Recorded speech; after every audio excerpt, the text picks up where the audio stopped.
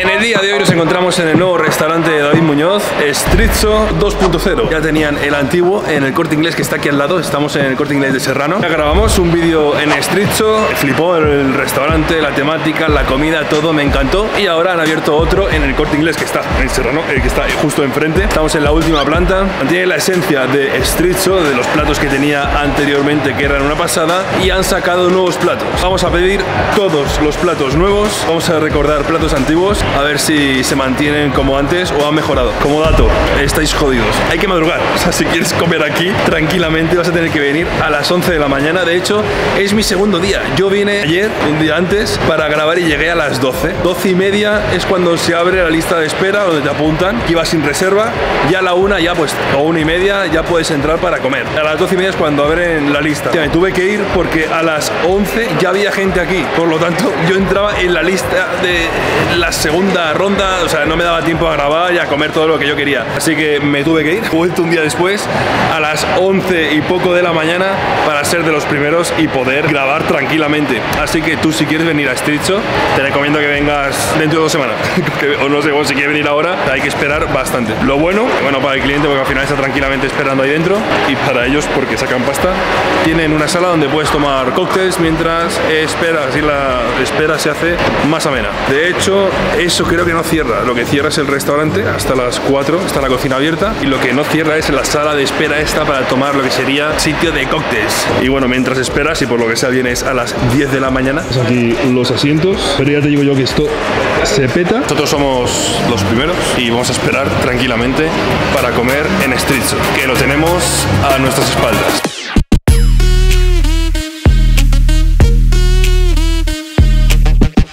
Sala donde entrarías antes de ir al restaurante para tomarte un cóctel mientras estás esperando. Las colas son brutales, así que esto se agradece, está bastante guay. Lo bueno del otro street es que podías, aunque no era su local, pero había una terraza y podías estar en la terraza tomándote un cóctel. Prefiero estar en una terraza, pero bueno, mola. Por aquí estás en el ambiente cerrado y luego dentro vais a ver que es completamente diferente. Así que vamos a pedir un cóctel, a ver qué tal está, mientras esperamos.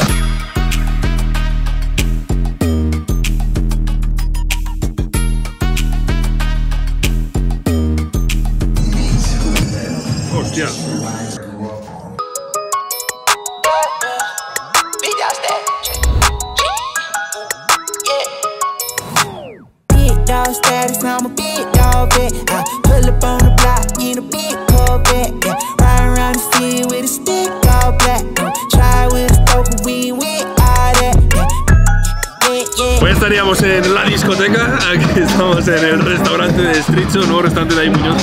Guapísimo, tío. A mí me encanta comer en barra y es que aquí literal es todo barra. La carta es bastante amplia, hay platos nuevos, obviamente vamos a pedir todos los platos. Aquí tenemos la carta, espero que se escuche algo, tío. Yo voy a intentar hablar un poquito alto, pero te la borrara que estoy raro. Tenemos aquí piel asada, dumpling pequinés, sándwich nos acomoda la faena. Tenemos aquí el rollito. Papel de arroz relleno de pato de gamba. Por encima llevamos salsina de gamba con un poquito de mayonesa de chile. El centro es un sweet chili de hierbas con mayonesa de chile y un poquito de polvo de lima café. Para comer a mano hay que pasar a dos salsas y dos bocados. Cada bocado con salsina. Este ya lo probamos en el antiguo distrito, lo único que lo han mejorado con la salsa y demás, así que nada, vamos a ver qué tal. Hay que comerlo en dos bocados, han dicho, mojar una salsita. No puedo, me voy a comer uno. Es que te viene muy tan movida.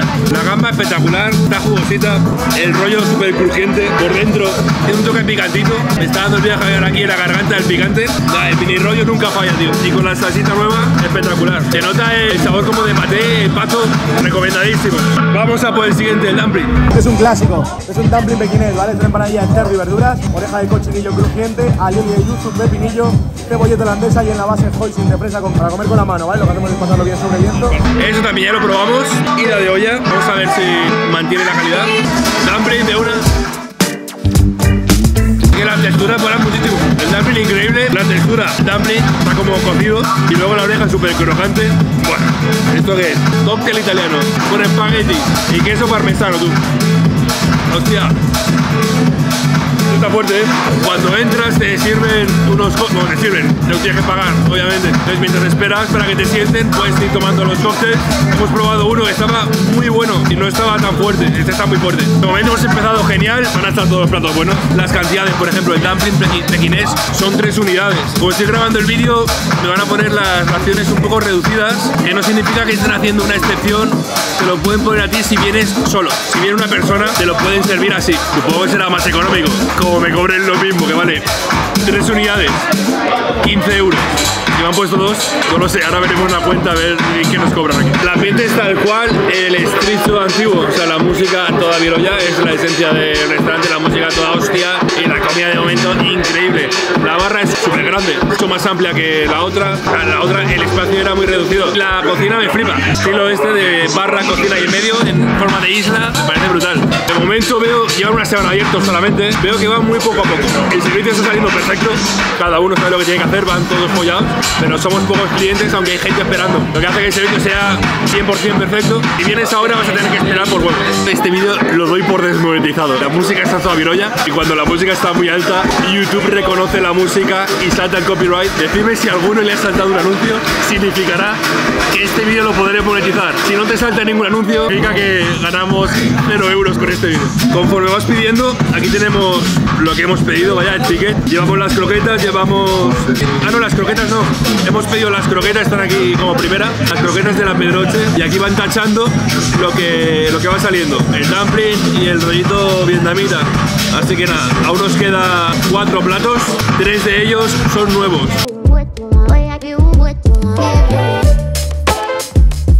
Pues aquí vamos de nuevo, la croqueta de la Pedroche. Esto fue de lo que más me sorprendió, ¿eh? porque explotó. O sea, esto literal hice la coña de abrirla o pegarlo un bocado y se desparramó todo.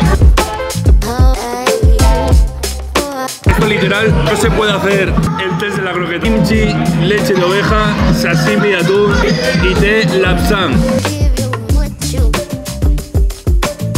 Pica un poquito, está increíble, pero hostia, de decir que me, igual, no sé si porque fue la primera vez, pero es decir que me sorprendió mucho más la anterior vez, como que era muchísimo más cremosa. La otra vez era literal esto una lámina, o sea, se deshacía. La otra vez esto era inviable, literal, ahora sí está muy cremosa, es in- increíble. Pero yo la recuerdo mejor por eso, porque me sorprendió, me explotó la cabeza a la hora de que literal se deshacía. Primer plato nuevo, ¿no? Sí. Montón frito relleno de chistorro y cebollino chino. Acompañamos con una salsa sweet chile que hacemos con ají limo, jalapeños rojo, ahí el vino chocolate, fresh cream con el cebollino, unas costillas de maíz. Para comer, cogemos costillas de maíz, montón y siempre con salsa, chicos. Siguiente, primer plato nuevo, montón frito. No es que sea un montón, aquí hay un poquitín. Según dice, coger la costilla de maíz, el montón y comer. Hostia, maíz, literal. Buah, qué bueno. Madre mía.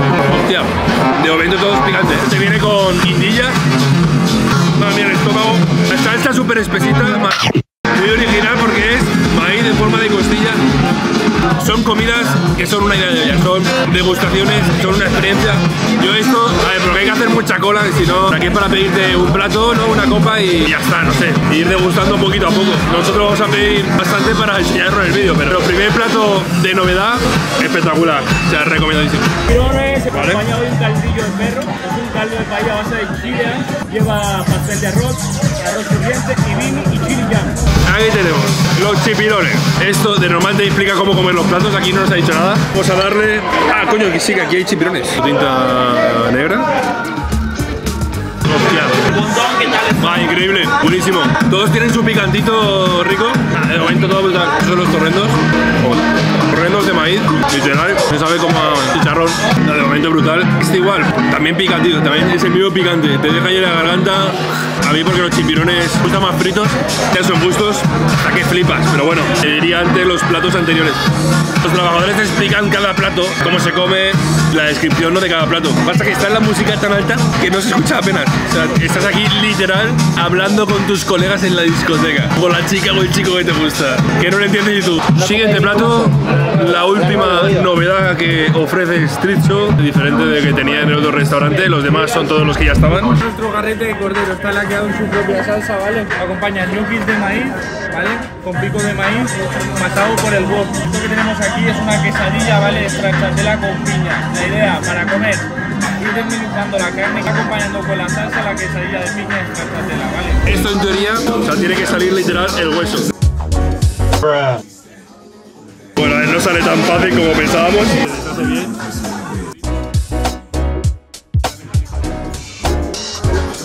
original. Con la quesadilla yo creo que ha querido intentar hacer algo rollo tacos al pastor, que es lo que lleva piña. De los típicos platos que puedes hacer eh, mexicanos, es un plato, bueno, no es ningún plato mexicano, pero es una fusión de comida mexicana auténtica, por así decir. Aquí tenemos los ñoquis de tamarindo, un pico de gallo. Puré de patata, puré de maíz. Al final esto es un codillo con puré de patata. Cómo reventar meses de trabajo, ¿no? Es que es una idea de olla, tío, porque aquí lo malo que se ha quemado un pelín, tiene el regustillo a, a quemadito. Un cubata, coño. Este plato está muy bueno, pero no me ha hecho volar la cabeza. Esto es como Messi, Cristiano. Lo tienes aquí, termina un partido sin meter goles y es como estás tan acostumbrado a que lo haga muy bien y vienes con la expectativa tan tocha que luego esto lo hace otro y dices, Dios. Pero bueno, que aún así, cuando vuelva estrecho, no es un plato que pediría. Vamos a por el siguiente salto.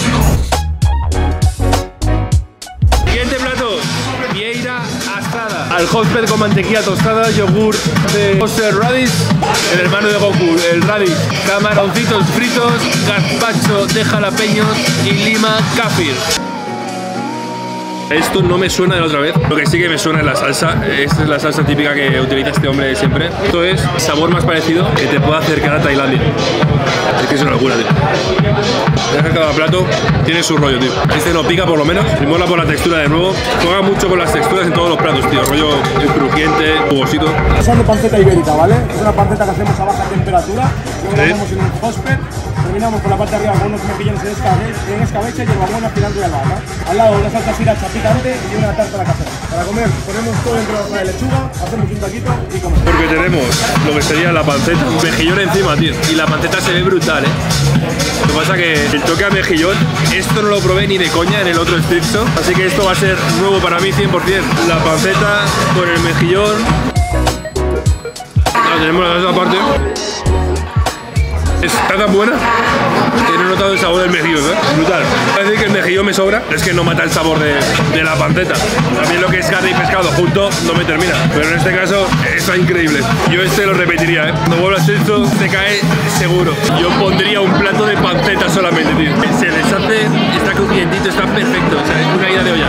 Ramen en queso con las de pollo totalmente deshuesado y ahumado, una yema al vapor, trompeta de la muerte y brotes de cebollino. Caldo preparamos con huesos de jamón. Para comerlo hay que romper la yema, mezclar todo y para Vamos a romper la yema. Aquí tenemos lo que sería el ramen.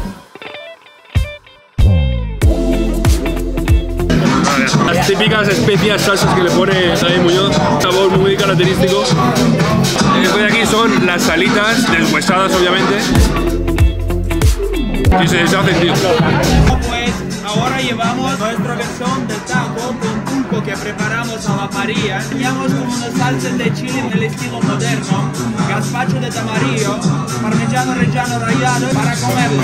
Hay que echar la lima, formar taco de unos tortillas y comer chicos. Está David Muñoz camuflado, no lo llego a ver. David Muñoz podría venir y grabando un vídeo en tu restaurante y saludar a. A Yo si tuviera un restaurante y viene aquí a grabar, pues iría, diría, ¿qué tal? ¿Todo bien? Vamos a ver si aparece. Ah, vale, está trabajando. Se ha metido a trabajar. Taquito de pulpo. Platos molan muchísimo. De nuevo es una fusión de México con Asia, por así decir. Que yo probé en México era Royal Pastor, el pulpo en el trompo, lo cortaban tal cual. Estaba bueno, estaba jugoso, pero estaba también crocante. Aquí es diferente, es como el pulpo, lo que sea, al vapor, por así decir. Muy bueno. Cóctel de ramen. Y de hecho hay ramen ahí. Tercer cóctel, tú. Lo bueno que el alcohol no es muy alto. Literal, tenemos aquí el ramen que está terminando. Cóctel de ramen con ramen. Muy raro, tío. Hostia, ese estaba fuerte, ¿eh? Miramos el pulpo.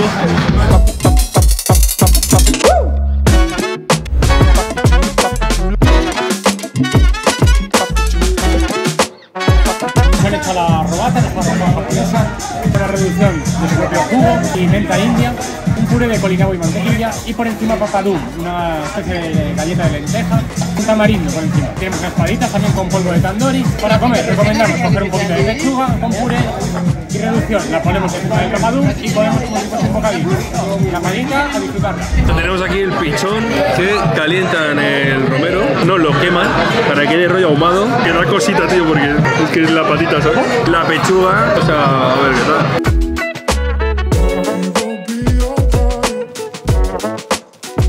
Todo bueno, qué asco. Espectacular. Pichón. Tiene toque de la brasa, está muy bueno, tío. Vamos a darle la pata de pichón con el ahumado del romero. Es que la carne es súper tierna, tío. Sabrosa, tiene muchísimo sabor. Esto rollo, alita de pollo, todos los picantes se te quedan aquí, tío. Pero son ricos, o sea, no matan el sabor. Terminamos el pichón y vamos a por el postre que tiene alguna novedad. Tenemos un crumble de chocolate, helado de caramelo salado, espumo de maíz. Para comer con cuchara hay que pillar un poquito de todo, de, de arriba al fondo y comer. Yo no me he enterado de nada de lo que me ha explicado. Que metamos aquí hasta el fondo. Mira, Por aquí es súper cremoso. Sabe a limón, está crujientito, como yogur, una nata de. de paranoia. Tiene como trozos de galleta, rollo Kinder bueno. Con el toque de limón, está muy rico. De la Pedroche. Está preparada a base de mantequilla con leche, un tartar de mango mojito y la crema inglesa con curry. Ras el canut, vainilla de Madagascar y brandy. Para comerlo hay que esperar poquito, luego con cuidado que cazuelita quema, hay que coger trocito y moviendo tirar para arriba. Primero pasar al plato para temperarlo un poquito que podéis comer de un bocado. Una vez termináis con brioche, mango, mezcláis con la crema para remover y disfrutarlo. Con el postre de la Pedroche. Madre mía. Vamos aquí a por el brioche, vamos a mojar aquí. Deja este no falla, tío. Buenísimo. Ganas pomposidad de esto, tío. Estamos el mango y la salsita. Ahora es como otro postre diferente. Brioche de la Pedroche.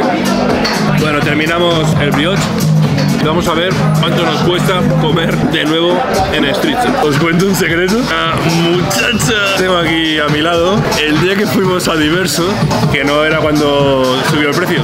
¿Cuánto costó? 2.50 por persona. Es el vinito y tal, que lo vinimos, lo vinimos arriba. Pues al final fueron 600 y algo. Una de las cuentas más caras de, de mi vida, que no pude subir el vídeo, ya sabéis. Esta muchacha, yo estaba grabando, y decía, "Um, esto huele a mar, esto huele a ahumado de no sé qué. Y ella, no, no olía nada. Y yo, joder, o sea que se lo comió. Resulta que tenía COVID. No lo sabíamos en aquella época. Llega a la casa y vomitó todo. 250 euros. Y la cuenta con el cacharro este. Vamos a la entrada a ver cuánto nos cuesta. Hasta aquí el vídeo de hoy. Hostia, la cuenta asciende. A ver, pensad que yo no soy una persona normal. Grabo vídeos de comida, lo- por lo tanto, invierto mucho en mis vídeos. Pido lo máximo posible. O sea, incluso me gustaría pedir más platos, pero hostia, ya hay un límite. Aquí tenéis, la cuenta asciende a un total de 262 euros. Todos los platos que hemos pedido. Incluso creo que se han estirado. Me han invitado alguna cosa. Por lo que veo, pone aquí una vieira y hemos comido dos. No sé si han tenido detalle en alguna cosita. Es que ahora se me escapa porque he pedido tantas cosas. Los cócteles, 13,50, 12 euros. La croqueta hemos pedido dos, son 10 euros. El ramen 22. El sam pieza en 14 euros. El pichón 23,50. La vieira 16. Los tacos de pulpo 24. Y todos por partida doble. 262 euros. Decidme qué os parece. David Muñoz, te he tenido cerca, tío. Y tú me has visto. He visto cómo estabas atendiendo a una mesa estaba justo al lado mío, ahí en la barra. Yo supongo que te caeré mal. Yo, aunque alguien me caiga mal, por lo que sea, yo hubiera ido y le hubiera dicho, hola, ¿qué tal? ¿Todo bien? ¿Está a su gusto? ¿Quieres algo más? Sí, ¿no? Hasta luego. Igual estaba liado por lo que sea y tenía sus movidas, así que bueno, yo no voy a juzgar a nadie, pero bueno, que ha estado ahí, ha estado a mi lado y yo creo que no costaba nada. Y es que al final yo soy así y cuando veo que alguien es así, pero bueno, no puedes permitir que todo el mundo sea como tú. En diverso de decir que cuando fui nos saludó, nos atendió súper bien, nos preguntó si queríamos algo más, si queríamos algún plato eh, diferente que no estaba en carta, pero yo creo que ahí no me conocía, o sea, no sabía qui- quién era. A día de hoy me consta que, sabe que existo. No opera mis vídeos, pero sabe de mi presencia. Pero bueno, una cosa no quita la otra. David Muñoz, enhorabuena porque te has sacado el cimbrel de nuevo. El restaurante es una pasada y me flipa. Y yo creo que es mi favorito de todos los restaurantes de David Muñoz. Estricho, ya era mi favorito anteriormente, pues se mantiene ahora más. Así, hasta aquí el vídeo de hoy. Nos vemos en una nueva aventura en este gran canal.